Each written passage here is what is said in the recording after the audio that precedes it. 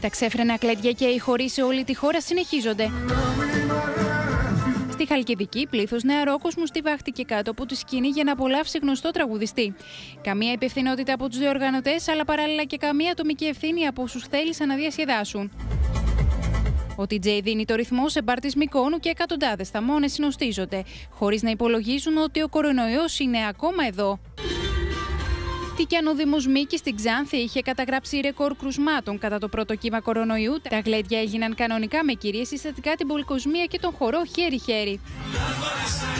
Τα μέτρα αγνοούνται και από τους παρευρισκομένους σε beach bar της Αχαία, το οποίο μάλιστα σφραγίστηκε λόγω συνοστισμού για 15 μέρες και οδήγησε τον ιδιοκτήτη του στο αυτόφορο.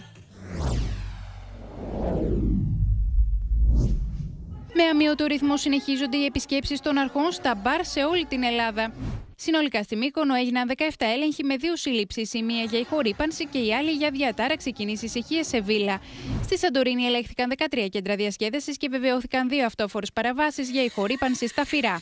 Στην Πάρο πραγματοποιήθηκαν έλεγχοι σε έξι μπαρ της Νάουσας χωρίς να διαπιστωθεί καμία παράβαση. Ενώ στην Παρικιά υπήρξε μία σύλληψη και λουκέτο καταστήματος γιατί βρίσκονταν 31 αντί για 13 άτομα που ήταν το επιτρεπτό όριο. Ορθιοι τέλους από σήμερα και μέχρι την ερχόμενη Κυριακή σε καφετέρειες, μπαρ και κέντρα διασκέδασης. Στους χώρους που μέχρι χθες φιλοξενούσαν όρθιους πελάτες, πλέον έχουν τοποθετηθεί πάσο με σκαμπό, ενώ σε κάποια άλλα κορδέλες απαγορεύουν την παραμονή τους.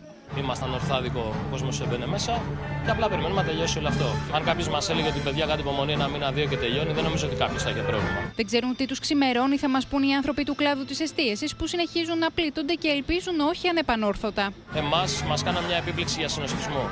Δικαιωθήκαμε δικαστικά, αλλά δεν μας αποζημιώνει κάποιος για τη βδομάδα που χάσαμε. Προσπαθούμε να επιβιώσουμε, να μείνουν και οι άνθρωποι που δουλεύουν εδώ, είναι αρκετές οικογένειες, να πάρουν κάποιο μεροκάματο. Η Ελλάδα πάντως συνεχίζει τις εφόδους με στόχο την τήρηση των μέτρων και περιορισμό του κορονοϊού.